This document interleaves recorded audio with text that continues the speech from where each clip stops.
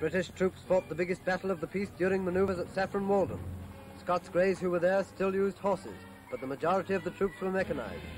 Mr. Hore-Belisha, Minister for War, took an active interest in the new automatic guns, and during a day which was sometimes dry but mostly wet, he watched our troops in action, in village streets and in the surrounding countryside. Three, six, six, three. Two degrees, five minutes, left of the airlines.